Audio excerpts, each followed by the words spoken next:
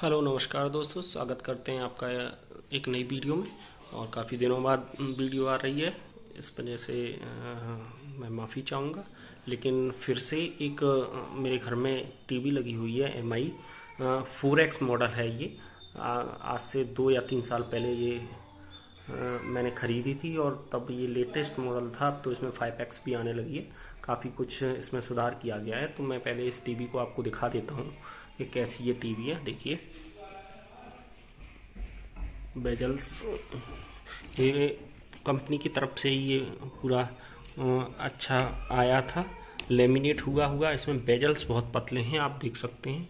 काफ़ी छोटे बेजल्स हैं, कहा जाए तो लमसम एक इंच के बेजल्स और इधर भी आप देखेंगे तो यही बेजल्स हैं।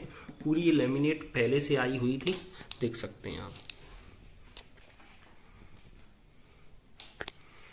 इस तरह का कुछ इनका रिमोट इस तरीके का कुछ इनका रिमोट है और बड़ा यूज़र फ्रेंडली है हल्का सा छोटा सा है।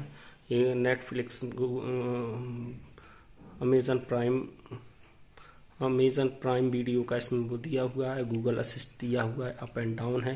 बैक बटन है, ये होम बटन है, ये एम आई बटन है। वॉल्यूम प्लस माइनस बस इतना छोटा सा ये है। बड़ा यूज़र फ्रेंडली बड़ा बढ़िया है। आप कर लेते हैं इसके पोर्ट की बात कि किस तरीके से जितने भी मेन पोर्ट होते हैं, चाहे वो यूएसबी पोर्ट हो, चाहे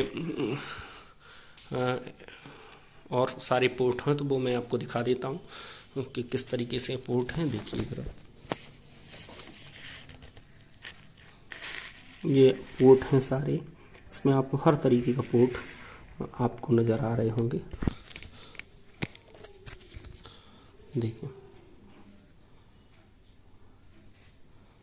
यही पोर्ट हैं, इसमें सारे पोर्ट दिए हुए हैं, जी एम आई पोर्ट दिए हैं यू एस बी पोर्ट दिए हैं, जो नॉर्मल सारे पोर्ट होते हैं, इसे आप मॉनिटर की तरह भी यूज़ कर सकते हैं पोर्ट देख के, आपको समझ में आया होगा।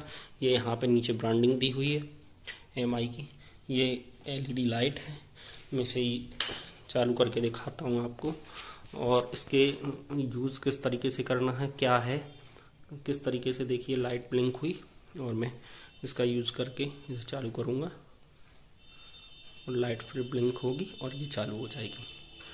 तो इस तरीके से देखिए, और यहाँ पे आप एक चीज़ और ध्यान दीजिएगा कि इसकी प्रोसेसिंग कितनी है, क्योंकि मुझे 2000 मई 2021 में मैंने इसे सत्ताईस हज़ार कुछ का लमसम अट्ठाईस हज़ार सत्ताईस नौ सौ निन्यानवे का ख़रीदा था।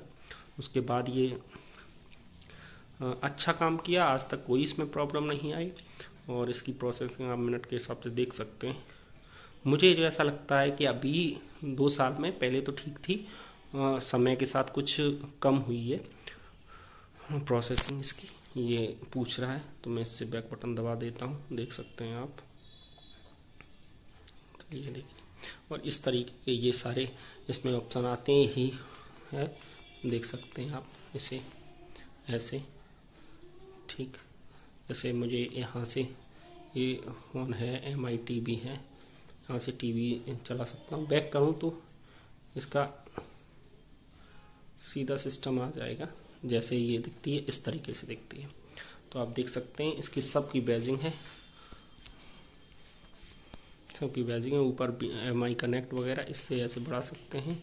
टीवी यूट्यूब गूगल डिजनी और ये नीचे अगर करेंगे, अगर ये कनेक्ट रहेगा तो ये कनेक्ट पे सारा कुछ दिखाएगा। मैं आपको यहाँ से टीवी कनेक्ट करके दिखाता हूँ क्योंकि टीवी मेरी कनेक्ट है।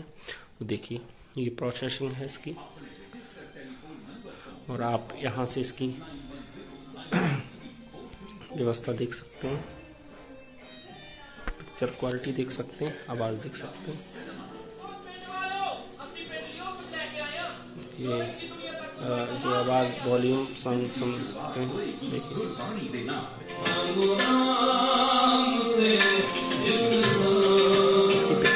पिक्चर क्वालिटी में किसी में कोई प्रॉब्लम नहीं है अभी तक। और ये बिल्कुल बढ़िया काम कर रही है। किसी भी तरीके से इसमें कोई प्रॉब्लम नहीं आई है। मुझे तो मैं क्योंकि मैंने जैसा कि बताया है कि एम आई वो सॉरी मई 2021 में से बाई किया था। तब से लगातार यूज़ कर रहा हूँ, लगातार चल भी रही है। इसमें किसी भी तरह की रत्ती भर की कोई प्रॉब्लम नहीं आई है। सत्ताईस नौ सौ निन्यानवे इसका एमआरपी थी। यूजेस मैंने बता दिया और फ़ोन कैसे करेंगे, ये बता दिया।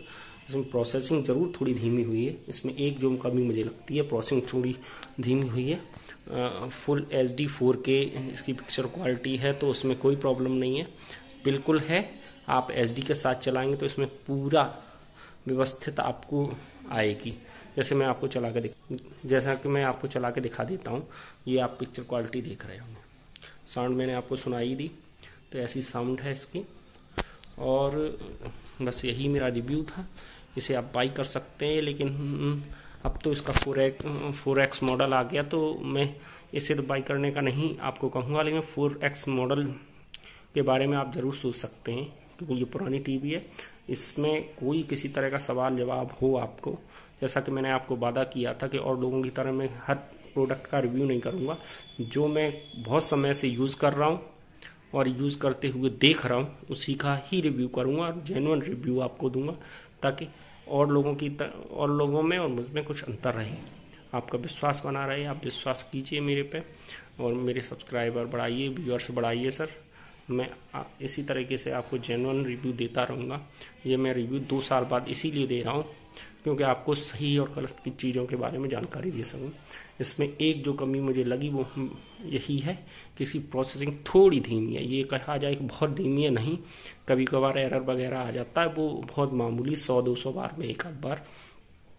तो यही है इसका टीवी का रिव्यू तो आप, आशा करता हूँ कि आपको इस टीवी के बारे में जो नॉर्मल रिव्यू दे सकता था यूजेस के बारे में, वो है। मैं समझता हूँ कि इसमें और आपको कुछ जानकारी चाहिए तो कमेंट द्वारा या मैं फिर भी एक बार इसे देख लूँ। इसका सबसे अच्छी बात यह है कि बेजल्स बहुत हैं और ये लेमिनेट हुई आती है। मैंने इस पर कुछ भी नहीं कराया, ये लेमिनेट आया। और इसके नीचे स्टैंड बाई स्टैंड जो इसे पुट करने के लिए